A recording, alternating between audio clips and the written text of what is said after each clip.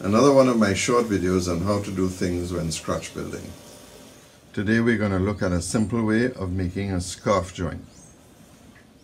I need to put a strake in here and so I need to make a scarf joint to join these two pieces together. There are quite a few different ways to do this but in model building we're really just going to use um, the simple process of making a regular or simple scarf joint. There are very few tools you need. Um, I suggest two calipers or two tools that can mark um, the piece.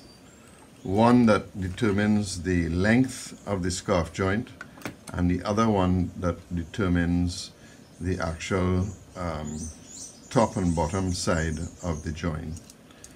So all you do is to take the caliper and mark on both sides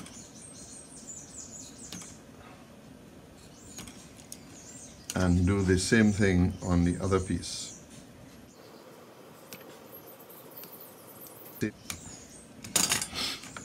Now we want to make them the same length. So you determine the length that you want to make the join. And if you're having difficulty seeing like I am, you can mark the key pieces out on pencil.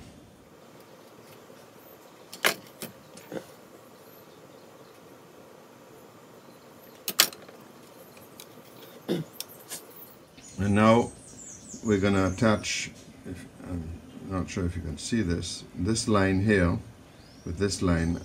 So we don't want this to move. So a simple technique is simply to clamp it to your table or whatever you're using just so it doesn't move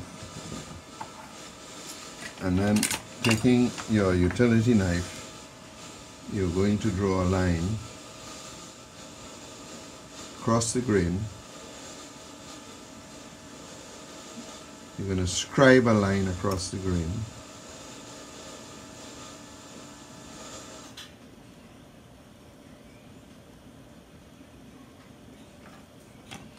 and again if you wish you can just highlight it. And in this case we're going to be taking off this piece and now you do the exact opposite for the other piece.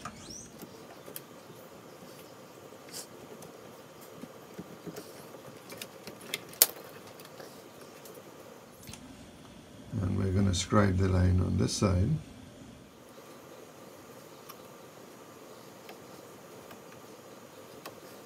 And again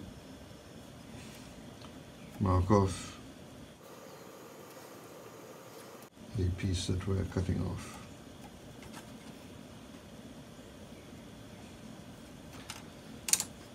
And then you cut off these two pieces. I did these cuts on the bandsaw outside, so now we're going to clean it up.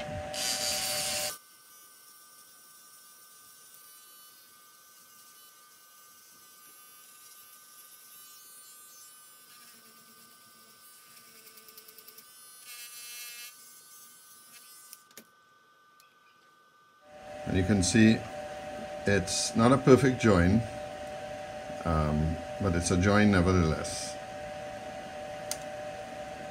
So we're now going to clean up further using our chisel. But before you do that you need to hold up the two pieces. Let's assume these are the two ends. Close together. And hold them up to a light or to the sky.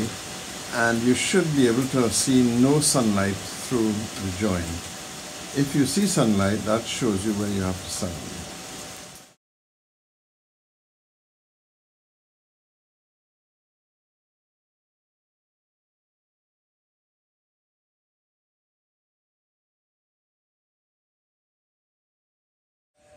Well, they don't normally come out this easily, um, but if you turn it up to the light, you can see light coming through and it tells you where you need to sand. This one, for some strange reason, because it never happens like this in real life, has come out perfectly the first time around.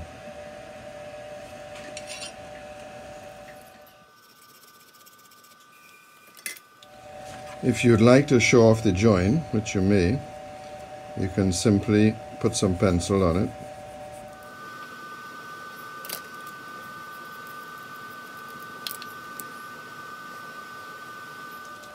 Now to join the pieces, we simply clamp them to, I like to use glass because it's easy to get stuff off of it.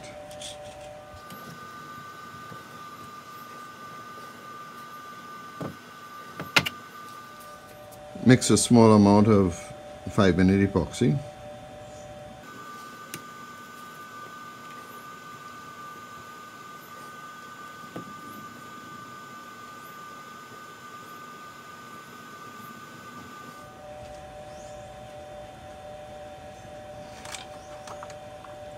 You could put on both sides. I choose to put on one side. Make sure it stays flat. I clamp this side down. And I like to clamp both sides of the joint. and leave that. And this is what you're going to end up with, which we'll just sand and clean up.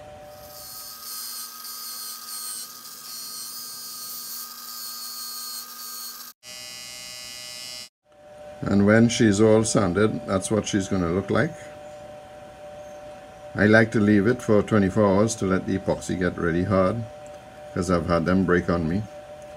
In the rail boats they would actually have some pin either a, a wooden dowel or a bronze uh, pin that would go through here and keep this a nice tight fit